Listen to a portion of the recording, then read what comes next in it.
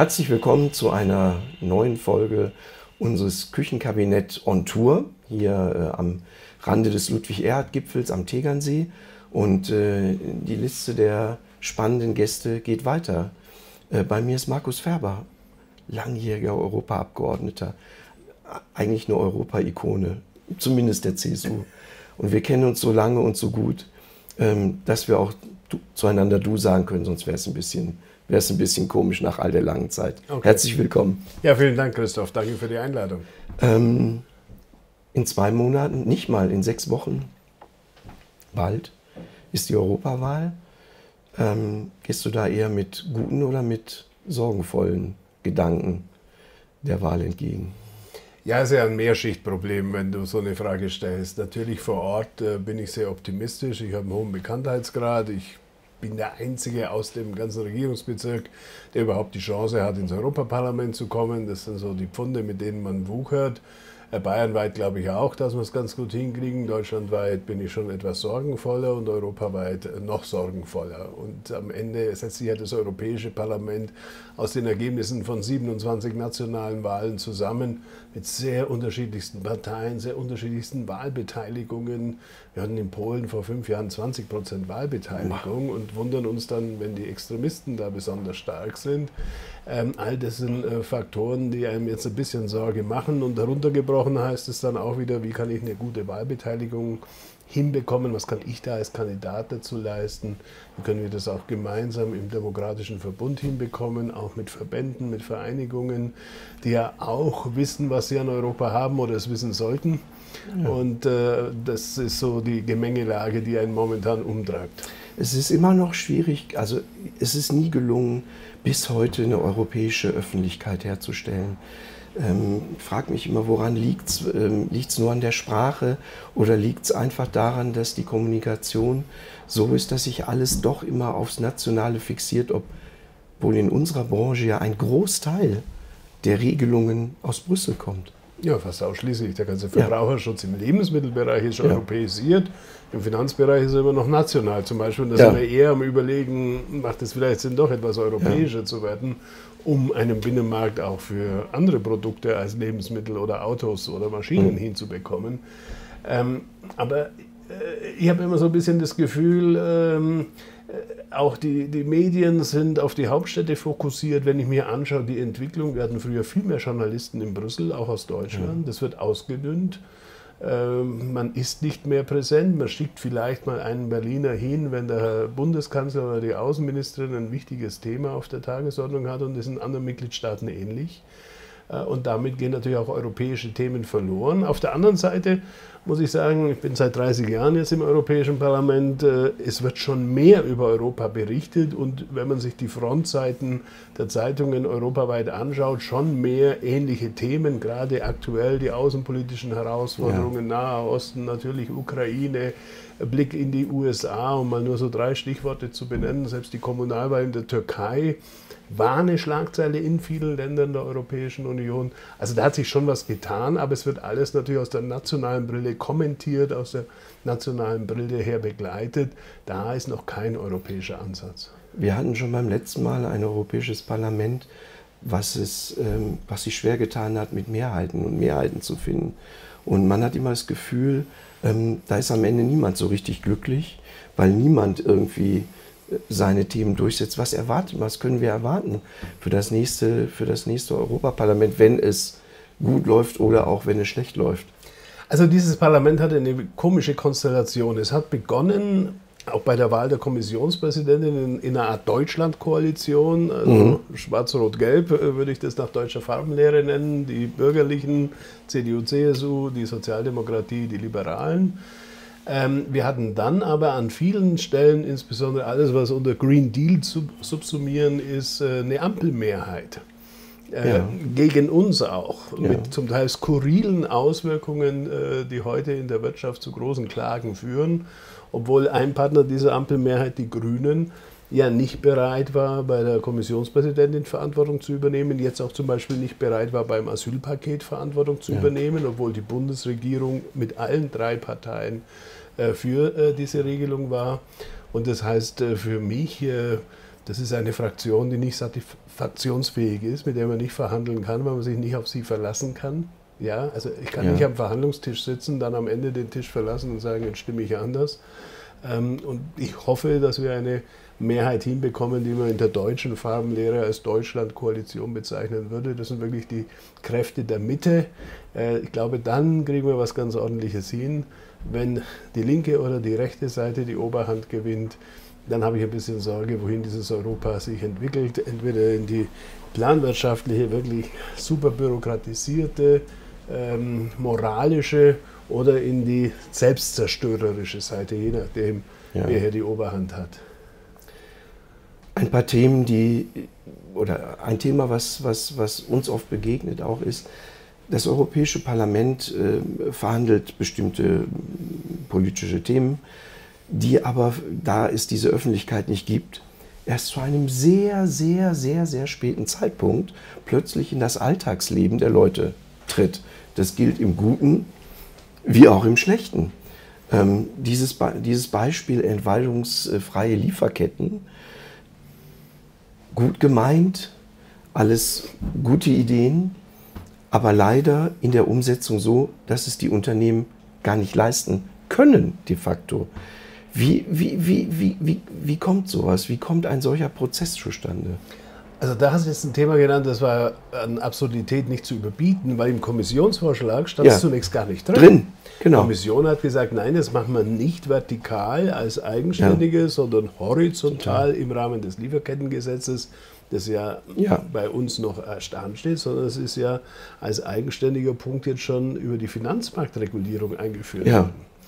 Und äh, da habe ich wirklich äh, gemerkt, bin ja in dem Ausschuss, der sich um die Finanzmarktregulierung kümmert, da gab es keine Mehrheiten mehr und man wird dann in eine Ecke gestellt. So, schau ihn an, so schaut er aus, der den Urwald abholzt. Ja, also, ja, ja genau. Hier, so schaut er aus. Ja. Äh, und, und nicht mehr sich mit der Frage beschäftigt, macht das alles noch so Sinn? Ich habe selber ganz konkret Fälle, dass ein Landwirt nachweisen muss, dass den Acker, den er bewirtschaftet, nur weil er das Produkt selber direkt vermarktet, muss er selber die Verantwortung genau. übernehmen, ansonsten ist es in der Lieferkette irgendwo ja. die nächste Verarbeitungsstufe, nachweisen, dass er dafür keinen Wald gerodet hat, obwohl das in Bayern äh, so einfach nicht geht, einen Wald zu roden und da ein Ackerland draus zu machen. Da brauche ich keine EU-Vorschrift für. Äh, uns wurde es aber verkauft als äh, Schutz des Regenwaldes meine, es regnet und wir haben Wald, aber deswegen ist es noch kein Regenwald. Äh, und und äh, da einfach noch wieder Maß und Mitte zu finden, wenn wir schon am Rande des Ludwig-Erhard-Gipfels ja, sind, ja. das ist bei dem Thema nicht mehr möglich gewesen. Wie gesagt, man wurde da in eine Ecke gestellt, auch bei uns in der Fraktion. Ich habe mit Engelszungen geredet, bitte sachfremde mhm. Geschichte, kein Impact Assessment, was wir von der Kommission immer verlangen, was hat es für Auswirkungen, einfach aus dem hohlen Bauch gemacht. Sorry, auch mit Zustimmung der Mitgliedstaaten am Ende. Ja. Bundesregierung sowieso, Feuer und Flamme. Frau Lemke war ja ganz begeistert. Ja. Aber äh, auf der einen Seite fordern wir das immer ein, da treten wir es mit Füßen. Und auch bei uns in der Fraktion, ja, gegen den Schutz des Regenwaldes, ja. da kann man doch nicht dagegen sein. Ihr Finanzer, ihr seid sowieso so ganz suspekt, euch durchschaut man sowieso nicht, was ihr so treibt. Äh, keine Chance, sowas dann wegzubekommen. Ja. Schauen, wir mal, wenn, schauen wir mal, wenn der Kaffee knapp wird Ende des Jahres, ob die dann immer noch so.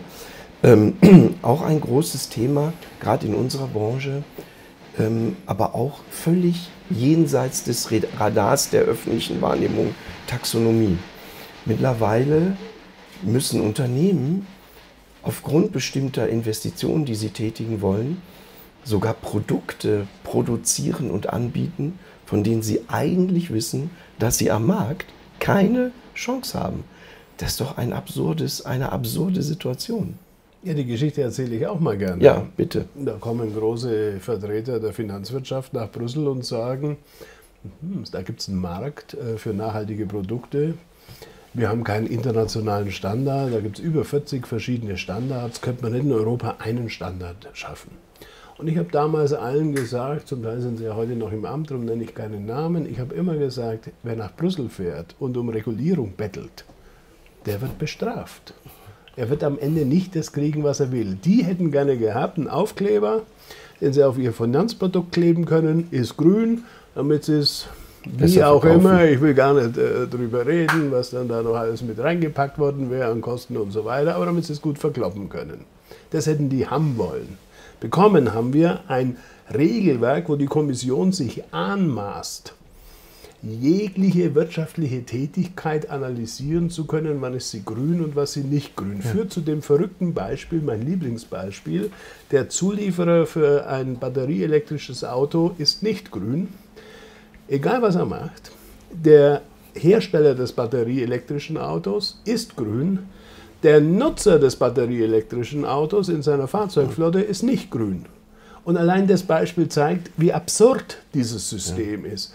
Also Kapitalmarktinformation oder ein Label wie kennst es ja vom Lebensmittelrecht, wo genau. wir auch einen Urwald an, an, an ja. Labels haben, wo der Verbraucher auch nichts mehr weiß.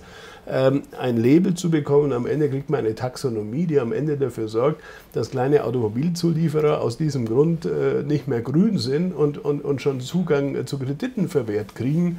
Das zeigt eigentlich die Absurdität des Systems. Ich habe da auch versucht, mit Engelszungen darauf hinzuwirken. Wir haben keinen Mangel, dass bereits Grünes finanziert wird. Also das 97. Windradl und das 183. Photovoltaikfeld ja. findet seinen Finanzier. Aber den Umbau einer Zementanlage, den Umbau eines Stahlwerks, so. Äh, den Umbau in der Automobilindustrie, whatever, auch im Lebensmittelbereich habt ihr eine Reihe von Herausforderungen. Ja. Also wie mache ich noch nicht nachhaltige Produktion nachhaltig? findet keinen Finanzier, genau aus diesem Grund. Äh, da nickt dann jeder in der Kommission und äh, passieren tut nichts. Und das sind schon Dinge, die wir jetzt ja. dringend nachsteuern müssen, sonst schießen wir uns so ins eigene Knie, weil Hersteller aus Drittstaaten müssen es nicht erfüllen. Genau. Die Produkte konsumieren wir dann alle gerne. Die Wertschöpfung findet nicht mehr bei uns statt. So und gerade der Inflation Reduction Act USA hat ja gezeigt, es gibt auch marktwirtschaftliche Instrumente, um CO2-Reduktion zu erreichen. Äh, plötzlich merkt jeder in Brüssel, wir sind vielleicht doch irgendwo an eine Mauer gelaufen und haben uns den Kopf eingeschlagen und ich hoffe, dass wir das revidieren können. Jetzt haben wir zwei negative Beispiele, kommen noch zu ein paar guten natürlich.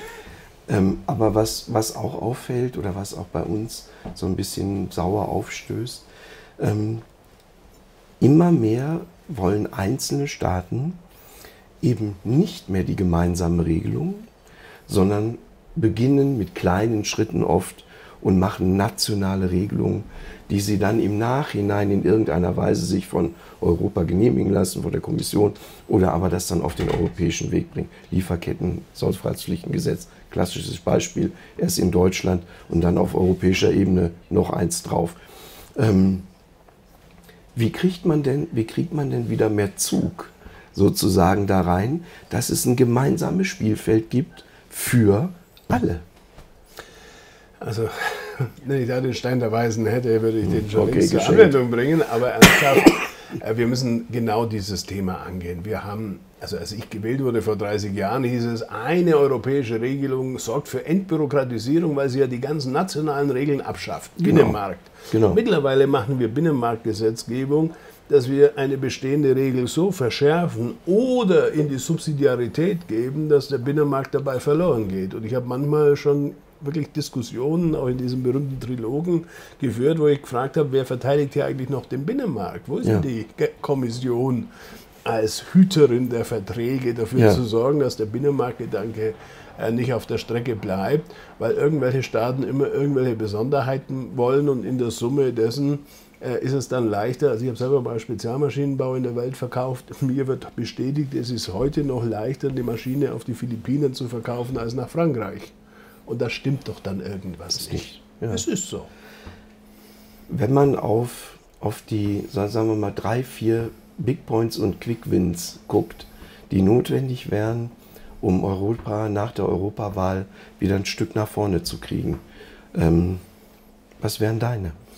Also wenn ich wirtschaftlich anfange, der Stärkung des Binnenmarktes, Abschaffung von diesen äh, diskriminierenden äh, Tatbeständen, den, den nicht-tarifären Handelshemmnissen, ja. wie das so auf eurokratisch heißt. Genau. A1-Bescheinigung ist der Klassiker. Genau. Ja.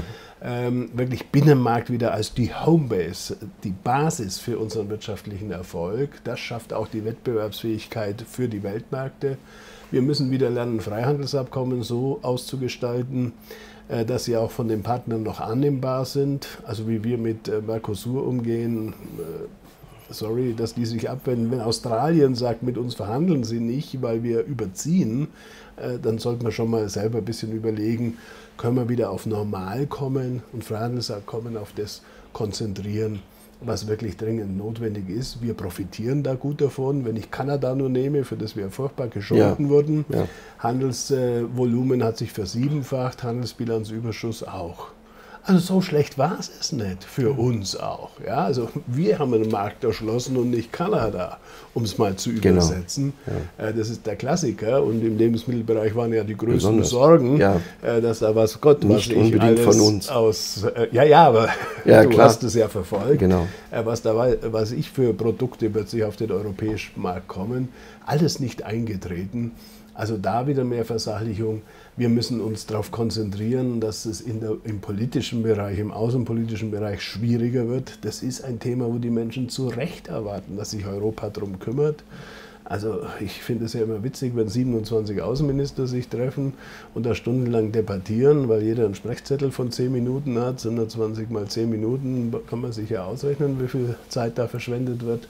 Äh, da müssen wir wirklich flotter werden, handlungsfähiger werden, brauchen natürlich auch einen Repräsentanten der Außenpolitik, der ja. in der Lage ist, auf die aktuellen Herausforderungen zu reagieren.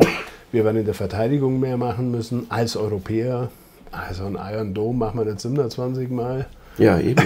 um mal so ein banales ja. Beispiel zu nennen. Also da gibt es wirklich Big Points, wo Europa jetzt zeigen muss, und gerade in dem Bereich äh, äh, Lieferkette, lasst uns doch auf die wirklichen Problemfälle konzentrieren. Ich muss doch nicht bei mir zu Hause nachweisen, ob Urwald äh, abgeholzt wurde.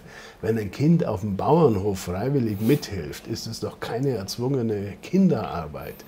Und, und, und all diese Dinge, äh, wo wir uns selber lähmen lasst uns uns auf die großen Probleme konzentrieren. Wie können wir die Situation im Kongo verbessern, äh, im Kongo-Becken, äh, wo Kobalt heißt, glaube ich, ja.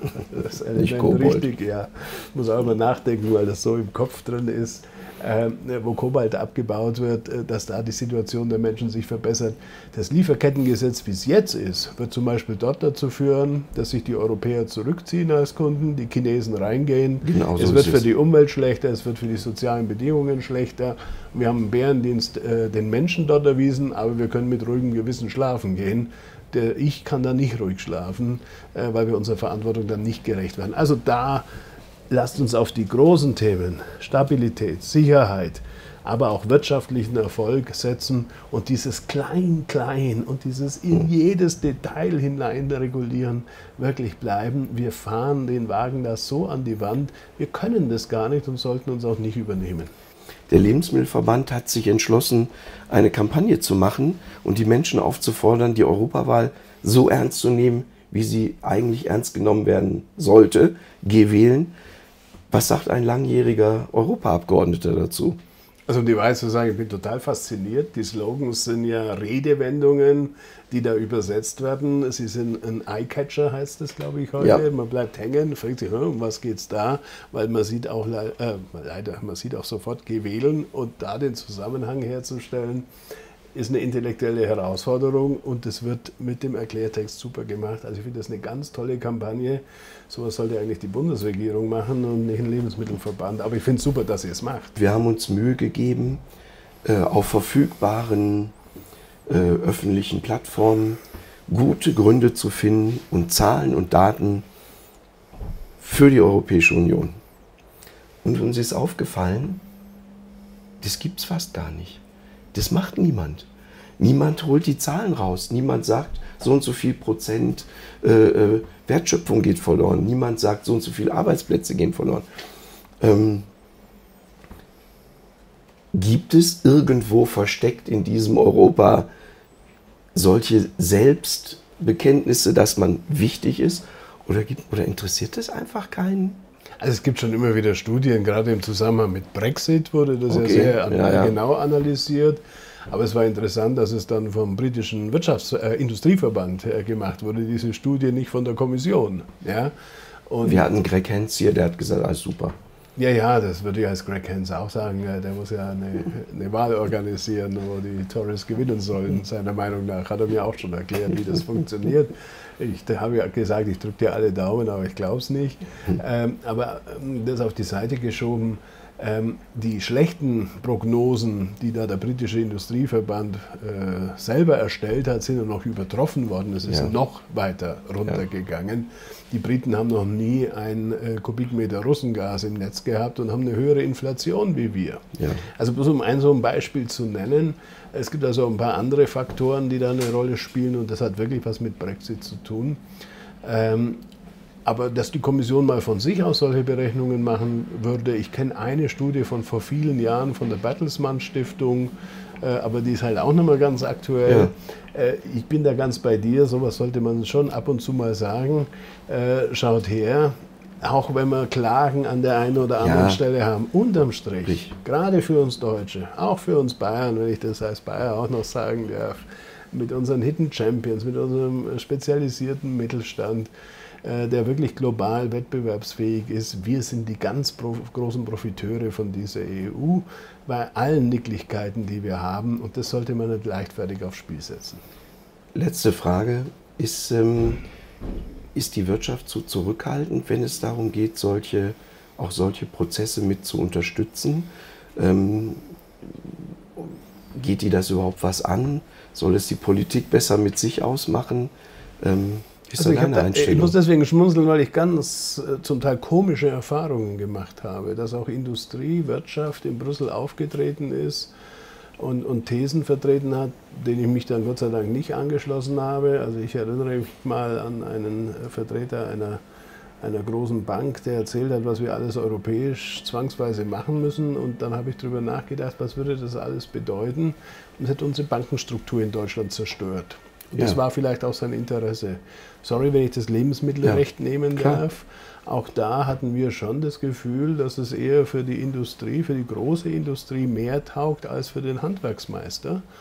Und äh, da die Balance zu finden, ist ja. ganz, ganz schwierig, ähm, weil Hygiene im Lebensmittelbereich ja, jedes Produkt, das ich im Supermarkt kaufe, ob das vom Bäcker um die Ecke oder vom Großkonzern, von weiß Gott wo in der EU kommt, muss natürlich Mindestanforderungen ja. erfüllen. Das macht die Sache sehr, sehr schwierig.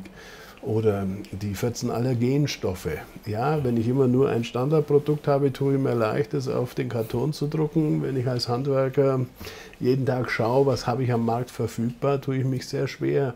Und da die Balance zu finden, ist sehr, sehr schwierig. Und manchmal habe ich schon das Gefühl, da gibt es auch welche, die sind unterwegs, um Marktbereinigung über Regulierung zu betreiben. Also haben nicht nur gute Absichten, aber es wird immer mit guten Deckmäntelchen Verbraucherschutz. Hygiene ist nicht teilbar, hat mir mal jemand gesagt. Ein schöner Spruch. Ja, dann habe ich gesagt, ja, da haben sie recht und trotzdem mache ich es nicht, weil es ein paar Unterschiede geben muss. Ähm, also Metzgermeister äh, versus äh, Großschlachterei mit europaweitem Vertriebsnetz. Also bitte, ja. wenn es regional ist, äh, ist das immer noch mal was anderes, weil ich einfach die Kühlketten anders äh, darstellen kann.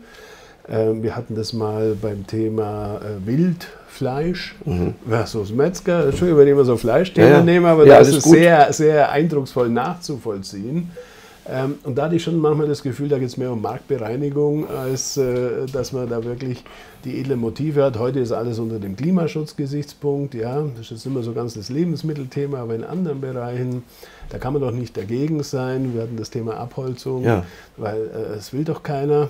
Ähm, und, und da muss man wirklich immer ein bisschen den Vorhang auf die Seite schieben, der einem da aufgezeigt wird, was ist wirklich dahinter.